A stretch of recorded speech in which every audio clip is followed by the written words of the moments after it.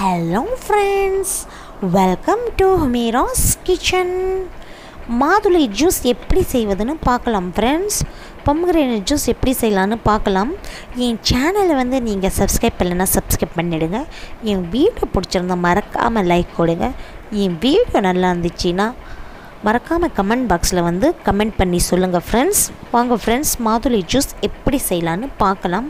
முதல்ல வந்து மாதுளத்தை உரித்து வந்து நல்லா கழுவி டூ டைம்ஸ் நல்லா இல்லைன்னா த்ரீ டைம்ஸ் நல்லா கழுவி வந்து மிக்ஸி ஜார் இருக்குது இல்லையா அதில் போட்டுக்கலாம்.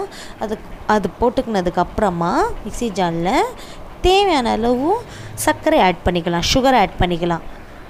இப்போ வந்து இனிப்பு அதிகமாக தேவை இருந்துச்சுன்னா நீங்கள் வந்து இனிப்பு ஜாஸ்தியாக ஆட் பண்ணிக்கோங்க. இல்லை வந்து இல்லை பால் போடுறோம் இல்லையா அதனால் வந்து கொஞ்சம் இனிப்பு கம்மியாக தான் தெரியும். அதனால தான் சுகர் அதிகமாக ஆட் பண்ணுறேன்னா நான் வந்து ஃபோர் ஸ்பூன் வந்து சர்க்கரை ஆட் பண்ணுறேன் நீங்கள் வந்து உங்கள் தேவைக்கு தகுந்த மாதிரி ஆட் பண்ணிக்கோங்க.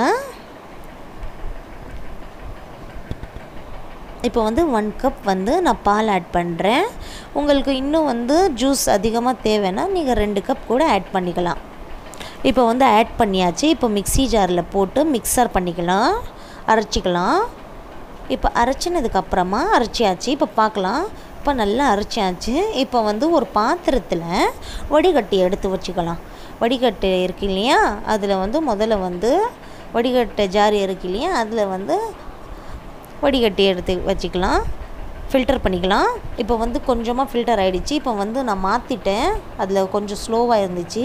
ஃபோக் இருக்குது இல்லையா? ஸ்பூன்ஸ் ஃபோக் இருக்குது இல்லையா? அதில் வந்து நல்லா கிளறி விட்டோன்னா கிளற கிளற சீக்கிரமாக வந்து ஜூஸ் வந்து வந்துடும் பாத்திரத்தில். அதுக்கப்புறமா வந்து கிளாஸில் ஆட் பண்ணிக்கலாம். ஓகேயா இப்போ நல்லா வந்து ஜூஸ் வந்தியாச்சு. இப்போ பாருங்கள் ஒன் கப் ஒன் கப் ஜூ பால் போட்டதுனால ஒரு பாத்திரத்து வந்திருக்கு. இப்போ வந்து ஜூ ஒன் கிளாஸில் வந்து எட்டு ஐஸ் க்யூபை வந்து நான் போட்டிருக்கிறேன். ஃபுட் கலரை வந்து ஆட் பண்ணியிருக்கிறேன். ஆட் பண்ணி வந்து மாதுளத்து ஜூஸ் இருக்கு இல்லையா அது வந்து கிளாஸில் ஊற்றிட்டேன் ஏன்னா வேகாத வெயிலில் வந்து ரொம்ப வெயிலாக இருக்குது அதனால வந்து ஐஸ் க்யூப் போட்டு வந்து ஜூஸ் போட்டோன்னா செம்ம கூலிங்காக இருக்கும் குடிக்கிறதுக்கும் கூலிங்காக இருக்கும். ஃப்ரிட்ஜில் வச்சு வெயிட் பண்ணி குடிக்கிறதுக்கு தேவையே இல்லை. அந்த ஐஸ் க்யூப் போட்ட உடனே கூலிங் வந்து சூப்பராக இருக்கும். எதனால் வந்து ஃபுட் கலரை வந்து நான் ஆட் பண்ணேன்னா மாதுளத்தை மட்டும் மிக்ஸி ஜாரில் அரைச்சி போட்டோன்னா ரெட் கலராக வரும்.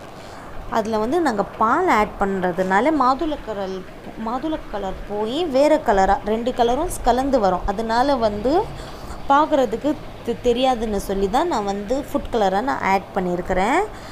நான் ரெட் கலர் ஆட் பண்ணதுனால ரெட்டாக தெரியுது.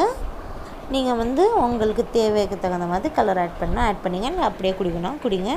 வீட்டில் மறக்காமல் ட்ரை பண்ணி பாருங்கள் ஃப்ரெண்ட்ஸ் நாளைக்கு பார்க்கலாம். பாய்